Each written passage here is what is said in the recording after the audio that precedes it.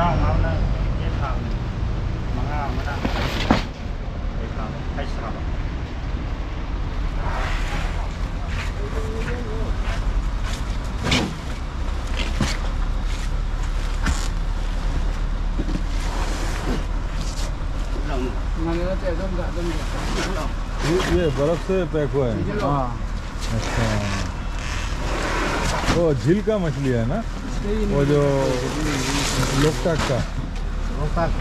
लोकटाक। झील का अच्छा ये गुवाहाटी जाएगा? ना क्या? हाँ। को क्या कहते हैं? हाँ? मणिपुरी भाषा में? nga nga nga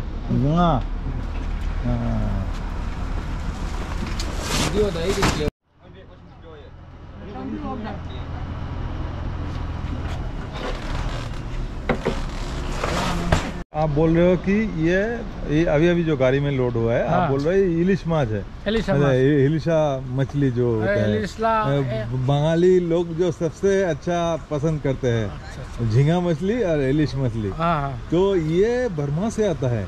बर्मा से आता है। अच्छा यहाँ पे इसका दाम? नहीं इंडिया वाला नहीं। हाँ, यही मछली हमारा उधर सब बिक रहा है अभी बहुत ही बिक रहा है। हाँ तो। हाँ, ये कितने का किलो है? ना, ना, वो तो ये टाइम टाइम से है तो। हाँ, इसी हाँ। टाइम के लिए बर्मा से है बस बर्मा से आएगा फिर बाद में फिर बंद हो जाएगा हम्म। ऐसा है। अभी अभी जो चल रहा है हम्म। बस यही है। हाँ, वो इंडिया से रेट ज़्यादा है हम्म, वो तो बर्मा से कम है तो बर्मा से जाता है। हाँ,